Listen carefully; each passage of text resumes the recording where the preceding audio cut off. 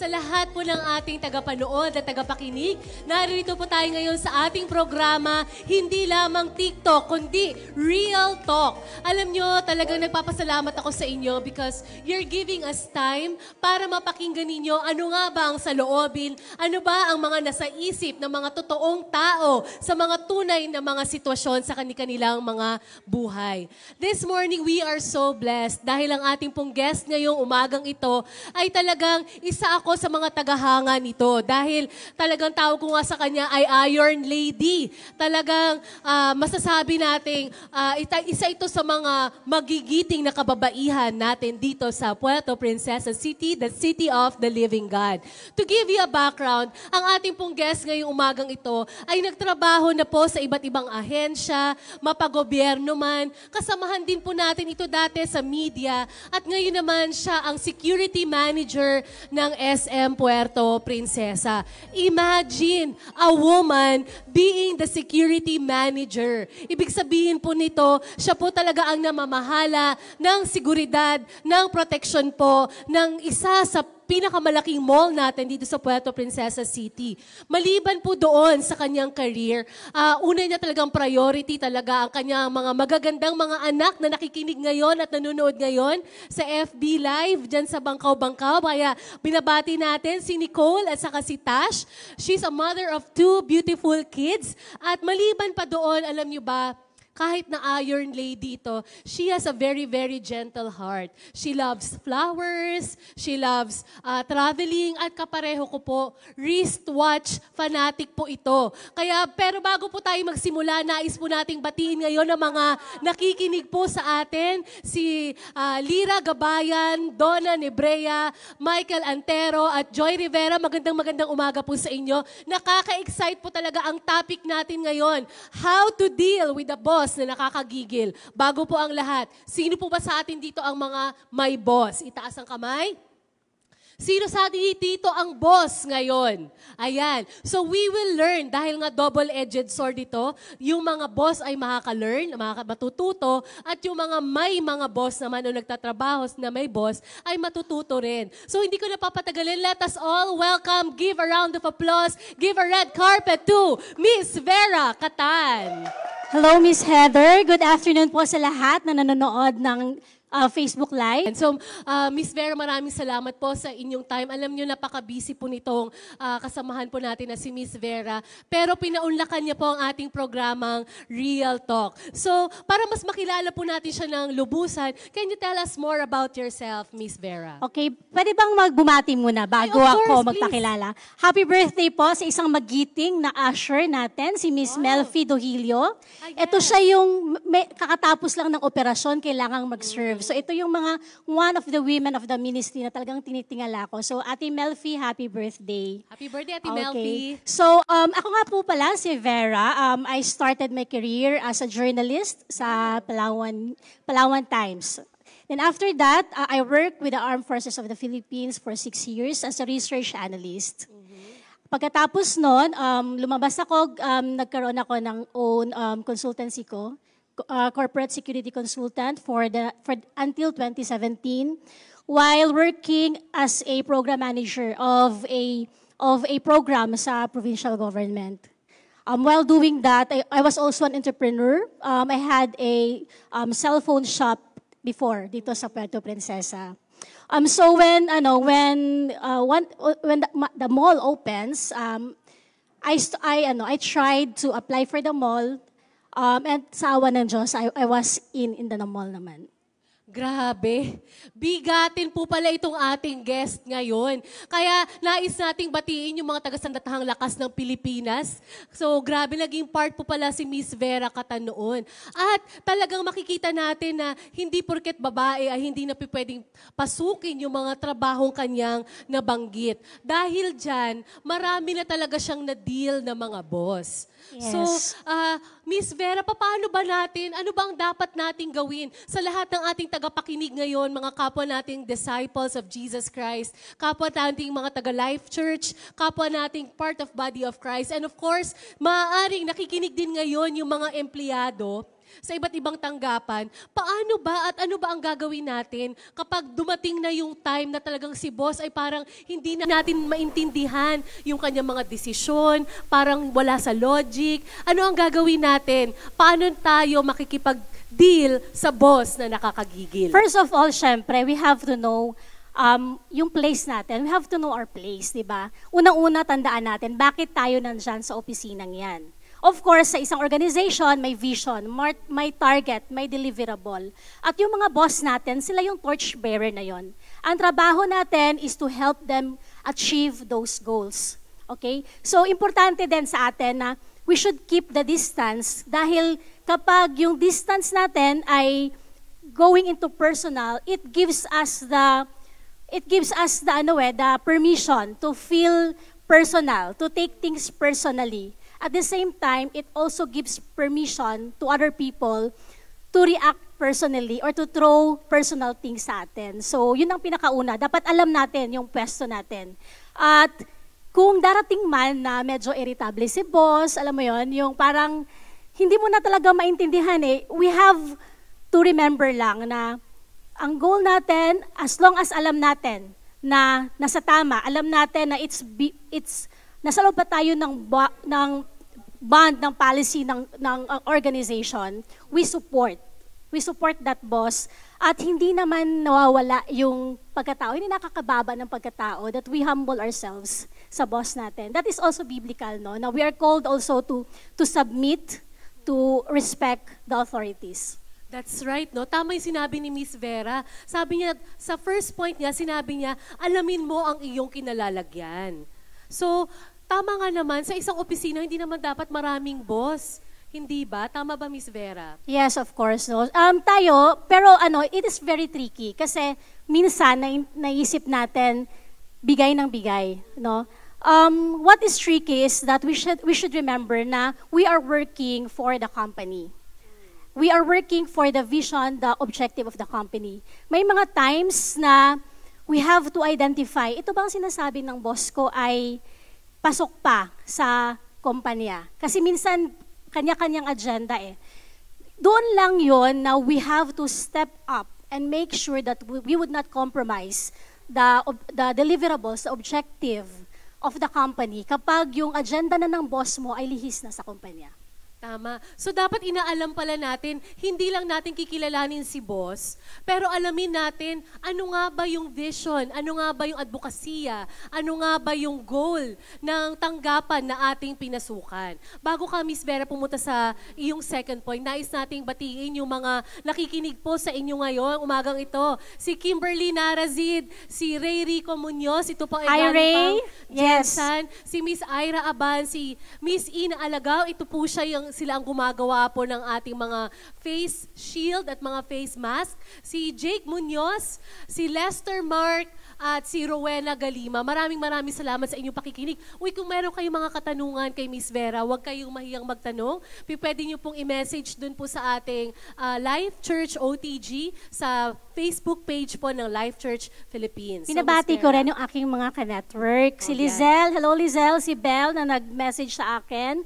Miss na miss ko na kayo. See you soon. O kakaiba nga tayo ngayon, no, Miss Vera, dahil hindi tayo pwedeng magtipon-tipon. But distance doesn't mean that we are true, disconnected. True ka dyan, Miss. Okay, so ano pa ba ang dapat nating gawin, Miss Vera? Pag si boss talaga ay ang hirap na makipag-deal at pareho na kayong pressured sa kinakailangan yung tapusin na trabaho. Um, personally, kailangan mo rin, no, you have to excel in whatever you do kasi kahit anong init ng ulo ni boss, kahit anong temperament ni boss, if you are excelling, he cannot uh, deny the fact na you are helpful, you are beneficial, hahanapin ka niya. Wala siyang maibabato sa'yo kapag ikaw ay excellent in whatever you do. Isa pa doon is, minsan ano, minsan yung init kasi ng ulo ng boss natin, it's because of something na may mga expectations tayo eh. Tayo may expectations sa kanya, pero let us remember na yung boss natin, mas malaki ang expectation ng na, nasa kanya from the from the higher ups. So, kinakailangan nating, um, kinakailangan nating ex, gaw- bigyang excelente ang ginagawa natin para hindi tayo dagdag dun sa pressure ng boss natin. We have, katulad na sinabi ko kanila, they are the torch bearers. So, ang gagawin natin, we should complement in our way, in our own ways, we should complement yung kailangang i-deliver ng mga boss natin. Tama. Alam mo, I agree with you on that, no? Kasi tayo ay naghahanap ng trabaho. Ito po ay kapag natanggap ka na sa isang trabaho, ito po ay isang pribilehiyo, isang oportunidad. Yes, yes. Hindi po yung Privilege. karapatan lang. Hindi mo karapatan. Yes, hindi po ba? Oo. Kasi si Miss Vera, ilan po ba ang tao under you? Um, indirectly, I am manning around 100 people. Grabe. 100 people. So katulad nga ni Miss Vera, imagine kung isa ka dun sa isang daang tao at feeling mo ngayon ay entitled ka dahil close, True, close kayo ni true, boss. yeah, yeah. Nako, dal- dapat magdalawang isip Yan ka. din yung sinasabi ko kanina na there should be a proper distance kasi it it takes away the entitlement. Kapag masyado na kayong close, close ni boss or kung boss ka, masyado kayo ka ng clo- close ng iyong empleyado, para nagkakaroon sila ng feeling of entitlement. so, That's right. so okay naman yun na friendly kayo sa office. It's Mm-hmm. a, dapat lang lagi healthy yung pagiging ano relationship sa office. Tama. At sinabi rin ni Miss Vera, dapat maging ah, excellent tayo, kagamit-gamit. Dapat maging, dito tayo dapat nagpapabibo pagda- pagdating sa trabaho. Tama. At bago tayo magpatuloy sa point number three nyo, gusto nating batiin ngayon si Alex Dumawa, si Hannah Joy Lobaton, at si Ryan Brizo. Maraming salamat sa inyong pakikinig ngayon. So, pangatlong point, how to deal with the boss na nakakagigil. Okay, so finally, no, we have to be conscious of what we are doing. Okay, ang pinakamagandang ano nito, ang pinakamagandang example sa Bible is si Prophet Daniel. Okay, si Prophet Daniel ang sinabi doon, he was blameless. Kasi sabihin na natin no na you are you are um you are being excellent, you are being, you know, your place. Kaya lang minsan kasi kapag may kapuna-puna rin sa'yo, i- there are reasons eh, nababalikan ka. There are reasons kung bakit binabato ka. So, ang ginawa nito ni Prophet Daniel, talagang he made sure na walang mababato sa kanya. Okay? So, sa atin, especially tayo bilang Kristiyano, bilang believers, we have to ensure na kapag, kapag mainit ang ulo ng boss natin or medyo may irritable siyang temperament, siguraduhin natin na it's not because merong nakikita sa atin na kapuna-puna. Dapat hindi tayo um, contributory doon sa pagbibigay ng pangit na atmosphere sa opisina. And especially, especially no, na kapag, kapag alam mo sa sarili mo na wala kang foul eh, wala kang foul, wala kang ginagawang masama, you can serve more. It's an avenue to serve more. Pwede mo ipagtimpla ng kape ang boss mo, pwede mo, pwede mong, pwede kang mag, bumaba doon dahil wala kang insecurity. You know na wala kang insecurity. You know na you're not doing anything bad. You know na you are doing your best. You know na you are giving the proper courtesy sa yung boss. So, it's ano, it's a one way also of opening yourself into giving more service sa ating mga kinata- kinaukulan. Wow, amazing. Miss Vera, meron tayong katanungan. Ito po ay nanggaling po kay Miss Ira Abian. What can you advise to the millennials na papalit-palit ng kanilang trabaho dahil sa kanilang mga boss? Ah, okay. Actually, nakakaano nga, napapansin ko nga ngayon yung mga millennials ay very, ano, very restless. Ako po ay nagsimula, um, 19 years old sa Armed Forces of the Philippines. Nagsimula ako sa pinakamababa na posisyon at the same time pinakamababang sweldo. But it is where I learned so much. Itong, itong natutunan ko bilang security manager, yung lahat ng discipline, lahat ng pagpakumbaba, lahat ng traits ay natutunan ko doon. So, ano eh, minsan even yung mga kasama mo magpapagawa ng excuse letter sa kanilang mga anak. Alam mo yon mga mga things na not outside your work, wag wag nating ano, wag nating gawing reason na umalis tayo dahil tinutu- inutusan ka ng mga bagay na hindi mo naman trabaho. Take it as as an opportunity to learn more at magiging magkagamit-gamit yon as you step up sa ladder ng iyong career. So, for the millennials, wag papalit-palit, okay? The minimum that you can, ano, ang suggestion ko dyan, the minimum na pwede kayong um, maging part ng organization is three years to give you um, enough time to learn, to give you also, kasi isa pa, pangit sa resume na lumalabas na parang after six months lumipat ka na. Ang titignan kasi noon ng, ng employer mo someday, bakit ito ba ay hindi magaling na team worker? O ito ba ay may temperament? Ito ba ay pinaalis? So, ang pangit po. Ang pinakamaganda, ang, ang, ang advisable that talaga is around three years before ka mag-push ng another, ano mo, another career.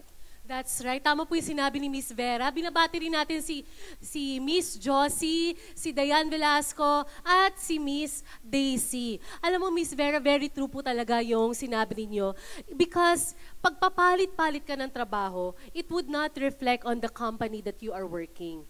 It would reflect True, on you. true. Actually, and actually madagdag ko lang Miss Heather, no. Um, tayo kasi, there's no perfect comp- company na pag, pagpapasukan natin eh. But the more that we are exposed to the imperfections of the company, we are getting better sa ating character. 'Di ba? Yung nabibuild doon yung ating integrity, ang ating um, perseverance, yung ating ano, ang ating critical thinking. So the more that we are exposed sa sa um, flaws ng company, the more na nag-grow tayo as an employee if you are looking at building your, your career. That's right, no? Uh, shout out also to Miss Edna Encluna na nakikinig din sa atin ngayon. Totoo po yung mga sinabi ni Miss Vera. Eh, itatry ko, Miss Vera, na isummarize yung three points sa iyong binigay. Una, kapag si boss ay nakakagigil, i-check natin itong tatlong points na ito. Una, una tingnan natin, alam ko ba ang aking kinalalagyan sa kumpanyang ito? Yeah. Alam ko ba kung ano nga ba ang posisyon ko? Kasi baka minsan umaasta na tayo na parang boss o mas magaling kay boss. Okay, number one, know your place.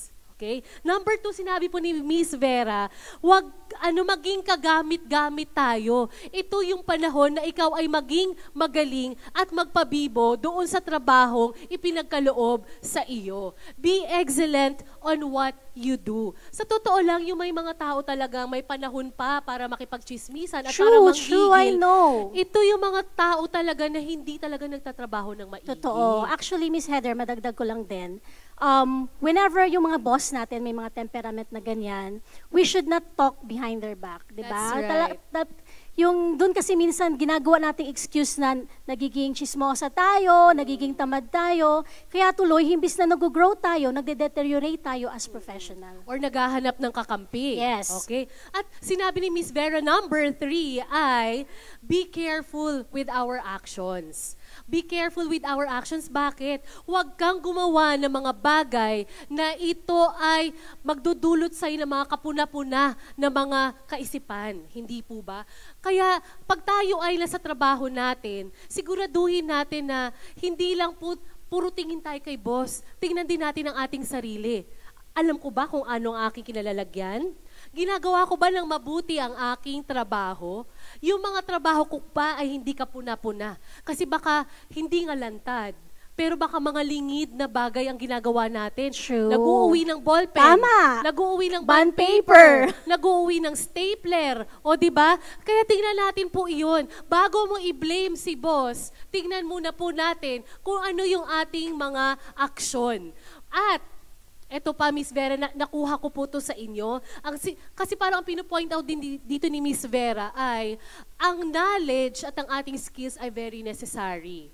But what matters the most is our attitude and our character. Yeah, totoo yan, Miss Heather. Mm. Kaya muli po, naririto po tayo ngayon at shout out din kay Miss Lenny Tomas na nakikinig din sa atin ngayon. Muli po nagpapasalamat po kami sa lahat po ng nakinig sa amin, lahat ng nanood. Maraming maraming salamat Thank you po. for inviting Miss- me here. Yes, salamat po sa lahat na nanonood. Maraming salamat po, Miss Vera. At kung may mga katanungan pa kayo kahit tapos na po yung ating show, you can reach po si Miss Vera sa kanyang social media account. Madaling lapitan po itong ah, kaibigan po natin na ito. Or kapag nakasalubong niyo po siya, pwede niyo po siya, Ate Vera, may gusto kaming katanungan, may gusto kaming linawin.